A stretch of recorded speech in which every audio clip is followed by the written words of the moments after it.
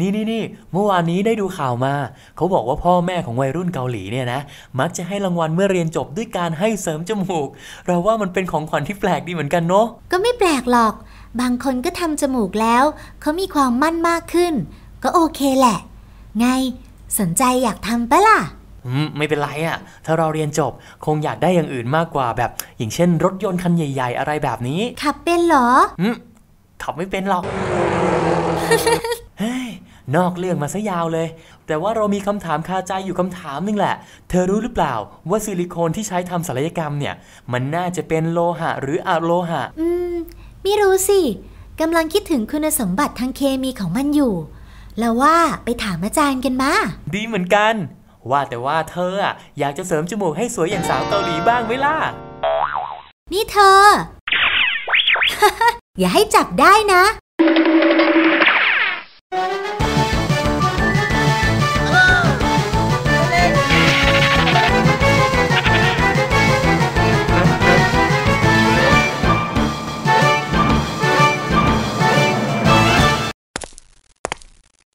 อาจารย์ครับ ช่วยด้วยครับ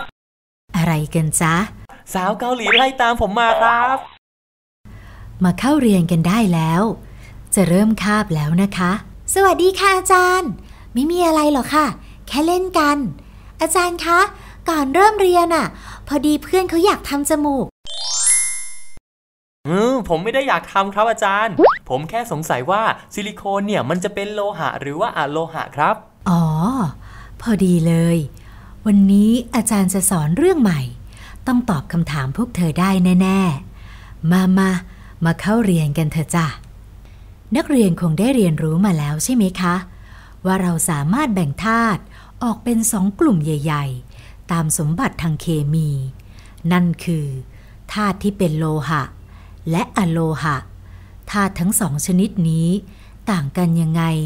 จำได้ไหมคะจำได้ครับ ธาตุที่เป็นโลหะจะมีขนาดใหญ่ และสูญเสียอิเล็กตรอนชั้นนอกได้ง่าย ส่วนธาตุที่เป็นอะโลหะ จะมีขนาดที่เล็กกว่า และก็รับอิเล็กตรอนได้ดีกว่าใช่ไหมครับ ถูกต้องค่ะ แล้วนักเรียนทราบไหมคะ ว่านอกจากธาตุโลหะ และอะโลหะแล้ว ยังมีธาตุอีกกลุ่มหนึ่งที่มีสมบัติก้ากึ่ง ระหว่างธาตุโลหะ และธาตุอะโลหะ โดยเรียกธาตุกลุ่มนี้ว่าธาตุกึ่งโลหะ ที่เมื่อกี้นักเรียนถามอาจารย์คำตอบคือเจ้าตัวนี้แหละค่ะ นักเรียนทราบไหมคะ ว่าธาตุกึ่งโลหะคืออะไร ได้แก่ธาตุอะไรบ้าง ไม่ทราบครับ ไม่เป็นไรค่ะ เดี๋ยวเรามาเริ่มดูไปพร้อมๆกัน และเช่นเคยค่ะ เราจะเริ่มการใช้เครื่องมือสำคัญ ที่จะช่วยให้เราศึกษาชนิด และสมบัติของธาตุแต่ละชนิดได้ง่ายขึ้น นั่นก็คือ ตารางธาตุนั่นเองค่ะ จากตารางธาตุจะเห็นว่า เราสามารถแบ่งธาตุออกเป็นสองชนิดหลักๆ ได้แก่ธาตุที่มีสมบัติเป็นโลหะ ซึ่งอยู่ทางด้านซ้ายของตารางธาตุและธาตุที่เป็นอโลหะ ที่อยู่ทางด้านขวา ซึ่งถูกแบ่งออกจากกัน โดยเส้นทึบสีดำในตารางธาตุธาตุกึ่งโลหะ ก็คือธาตุที่อยู่ชิดเส้นแบ่ง หรือเส้นซิกแซกรูปขั้นบันไดนี้นั่นเองค่ะ มีอยู่ด้วยกันทั้งหมด 8 ธาตุ ได้แก่ โบรอน ซิลิคอน เจอร์มาเนียม อาร์เซนิก แอนติโมนี เทลลูเรียม โพโลเนียม และแอสทาทีนค่ะ อลูมิเนียมที่อยู่ชิดเส้นแบ่งเช่นเดียวกันนั้น ไม่จัดอยู่ในกลุ่มของธาตุกึ่งโลหะ เพราะมีสมบัติใกล้เคียงความเป็นโลหะมากกว่า ส่วนโพโลเนียมและแอสทาทีน เป็นธาตุกัมมันตรังสี สาเหตุที่เรียกธาตุทั้ง 8 นี้ว่าธาตุกึ่งโลหะ ก็เพราะธาตุเหล่านี้มีสมบัติอยู่ระหว่างโลหะและอะโลหะ ซึ่งสมบัติดังกล่าวนั้นเป็นอย่างไร เราจะมาดูกันในหัวข้อถัดไปค่ะ สมบัติของธาตุกึ่งโลหะ ที่เราจะพิจารณาได้แก่ ขนาดอะตอม ความหนาแน่น พลังงานไอออนไนเซชันอิเล็กโทรเนกาติวิตี้ จุดเดือด จุดหลอมเหลว การนำไฟฟ้า และลักษณะของการเกิดสารประกอบค่ะ โดยเรามาเริ่มดูจากขนาดอะตอม ความหนาแน่น พลังงานไอออนไนเซชันอิเล็กโทรเนกาติวิตี้กันก่อนนะคะ จากตารางจะเห็นว่า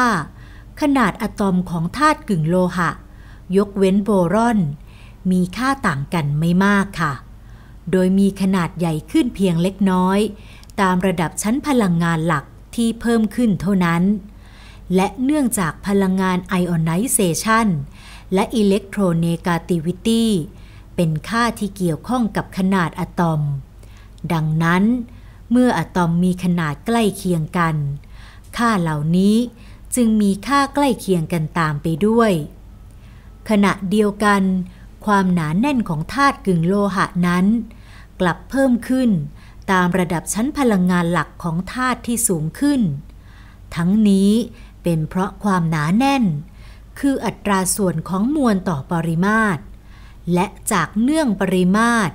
หรือขนาดของอะตอมเปลี่ยนแปลงเล็กน้อย ความหนาแน่นของอะตอม จึงเพิ่มขึ้นตามมวลที่มากขึ้นนั่นเอง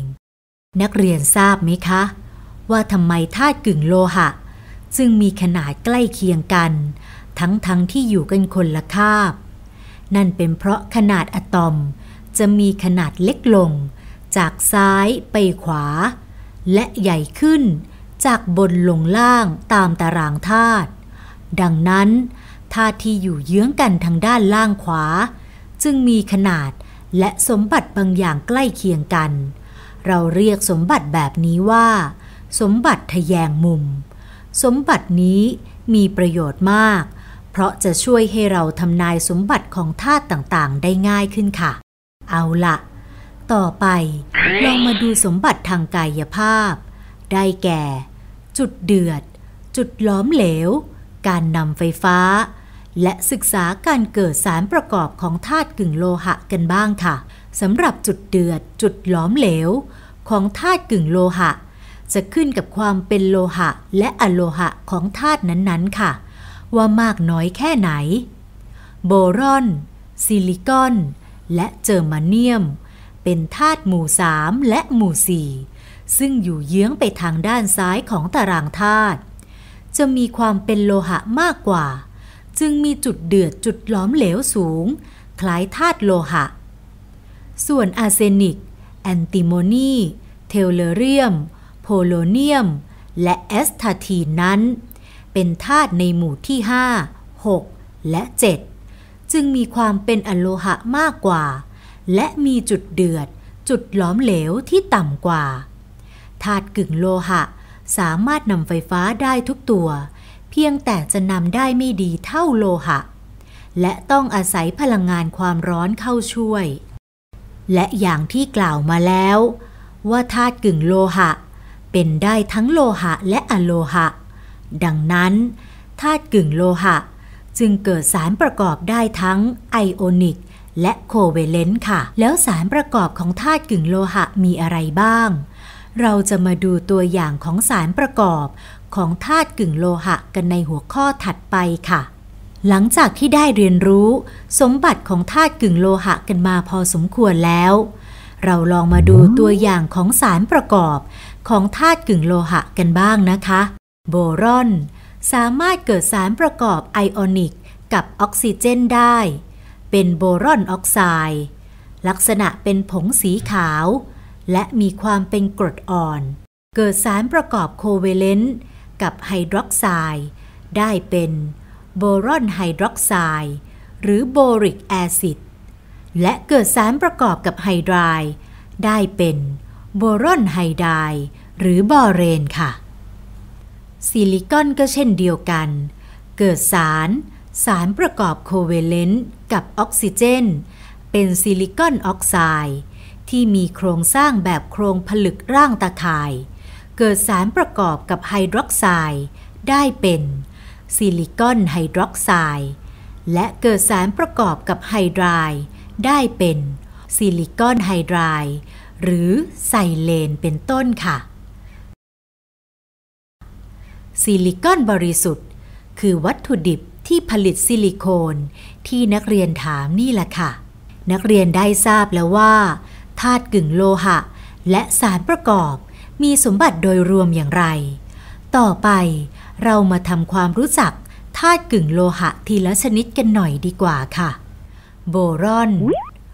โบรอนเป็นธาตุกึ่งโลหะที่มีขนาดเล็กที่สุด มีลักษณะเป็นผลึกสีเงินเทาแวววาว แข็งแต่เปราะ จุดหลอมเหลวสูง และมีสมบัติเป็นสารกึ่งตัวนำซึ่งสามารถนำไฟฟ้าได้ดีที่อุณหภูมิสูง ในสภาวะปกติ โบรอนเกิดปฏิกิริยากับสารอื่นได้ยาก เนื่องจากอะตอมมีขนาดเล็ก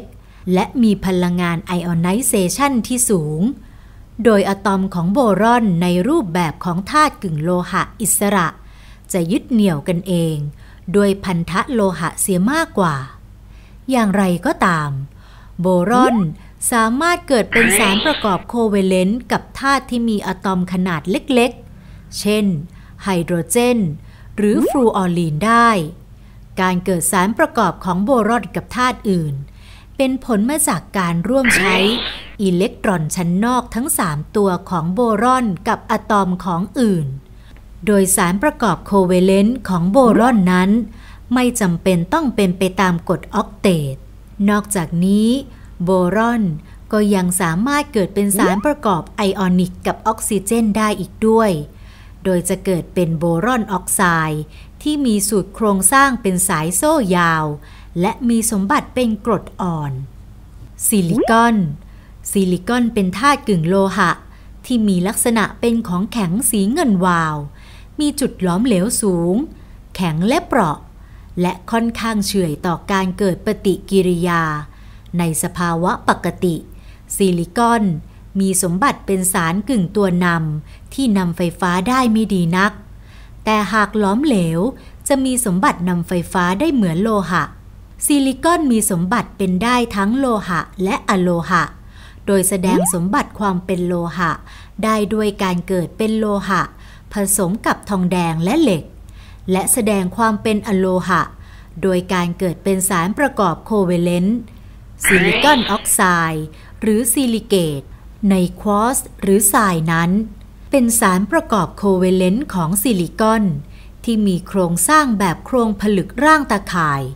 มีจุดเดือดจุดหลอมเหลวสูง และมีสมบัติเป็นกรดอ่อน เจอร์เมเนียม เจอร์เมเนียมมีลักษณะเป็นของแข็งสีเงินเทา แข็ง เปราะ และค่อนข้างเฉื่อยต่อปฏิกิริยาเคมี แต่สามารถละลายในสารละลายกรดซัลฟิวริก หรือไนตริกที่ร้อน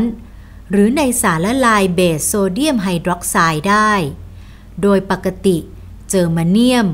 มีสมบัติเป็นสารกึ่งตัวนำสามารถนำไฟฟ้าได้เล็กน้อย แต่หากหลอมเหลวจะสามารถนำไฟฟ้าได้เหมือนโลหะ เจอมาเนียม สามารถเกิดเป็นโลหะผสมกับอลูมิเนียมและทองได้ แต่ส่วนใหญ่ จะเกิดเป็นสารประกอบโคเวเลนต์โดยเฉพาะ สารประกอบที่มีลักษณะเป็นทรงสีหน้า เช่น เจอร์เมเนียมเตตระฟลูออไรด์และเจอร์เมเนียมเตตระคลอไรด์เป็นต้น อาร์เซนิก อาร์เซนิก มีลักษณะเป็นของแข็งสีเทา เปราะ มีความเสถียรในอากาศ สามารถละลายได้ในกรดไนตริก หรือซัลฟิวริกเข้มข้น และสารละลายเบสโซเดียมไฮดรอกไซด์ที่อุณหภูมิสูง อาร์เซนิก จะเกิดการระเหิด แทนการหลอมเหลว ไอระเหยของอาร์เซนิกจะมีสีเหลืองและมีกลิ่นฉุน อาร์เซนิกจะสามารถหลอมเหลวได้ที่ความดันสูง โดยอาร์เซนิกหลอมเหลวนั้น มีสมบัติเป็นสารกึ่งตัวนำอาร์เซนิก แสดงสมบัติทางเคมีเป็นอะโลหะ มักเกิดเป็นสารประกอบโคเวเลนต์ของอาร์เซนิกที่มีเลขออกซิเดชันเป็นบวก 3 หรือบวก 5 สารประกอบออกไซด์ของอาร์เซนิก มีความเป็นกรด โดยเฉพาะสารประกอบออกไซด์ของอาร์เซนิก ที่มีสถานะออกซิเดชันเป็นบวก 5 ในสารประกอบเฮไลด์อาร์เซนิกค่อนข้างมีความเป็นโลหะ และสามารถเกิดการสลายตัวด้วยน้ำได้ แอนติโมนีแอนติโมนีมีลักษณะเป็นของแข็งสีเงินสะท้อนแสง มีความแข็งปานกลางและเปราะ เสถียรต่ออากาศและความชื้น แอนติโมนีสามารถละลายได้ในสารละลายกรดเข้มข้น แต่ไม่ละลายในเบสหลอมเหลว สามารถเกิดปฏิกิริยากับน้ำที่อุณหภูมิสูงได้ เป็นสารประกอบออกไซด์ แม้แอนติโมนี มีสมบัติเป็นสารกึ่งตัวนำแต่จะสามารถนำไฟฟ้าได้เมื่อหลอมเหลว แอนติโมนีแสดงสมบัติทางเคมีเป็นอะโลหะ และเกิดสารประกอบโคเวเลนต์ของแอนติโมนีที่มีเลขออกซิเดชันบวก 3 หรือ 5 เช่น สารประกอบเฮไลด์และออกไซด์เช่นเดียวกับอาร์เซนิก โดยสารประกอบของแอนติโมนีที่มีเลขออกซิเดชันบวก 5 จะมีความเสถียรน้อยกว่าบวก 3 และถึงแม้จะมีสมบัติค่อนข้างเป็นอโลหะ แต่แอนติโมนีก็สามารถเกิดเป็นโลหะผสมกับโลหะได้หลายชนิด เช่น เหล็ก นิกเกิล หรือทองแดง เทลลูเรียม เทลลูเรียม มีลักษณะเป็นของแข็งสีเงิน สะท้อนแสง เปราะ และเป็นธาตุกึ่งโลหะที่มีความแข็งน้อยที่สุด เสถียรในอากาศ แต่ไม่ค่อยเสถียรต่อความชื้น เทลลูเรียมสามารถเกิดปฏิกิริยากับน้ำเดือดได้ เป็นเทลลูเรียมไดออกไซด์สามารถเกิดปฏิกิริยากับสารละลายผสมของกรดไนตริก กรดซัลฟิวริก และกรดไฮโดรคลอริก ได้เป็นอนุพันธ์ของประกอบออกไซด์ประเภทต่างๆ และสามารถละลายได้ในเบสที่ร้อน เทลลูเรียม และเทลลูเรียมหลอมเหลว มีสมบัติเป็นสารกึ่งตัวนำเทลลูเรียมแสดงสมบัติทางเคมี เป็นทั้งโลหะและอโลหะ โดยสามารถเกิดเป็นโลหะผสมของอลูมิเนียมหรือเงิน และเกิดเป็นสารประกอบโคเวเลนต์ที่มีสถานะออกซิเดชันเป็นบวก 4 หรือบวก 6 ได้ โพโลเนียม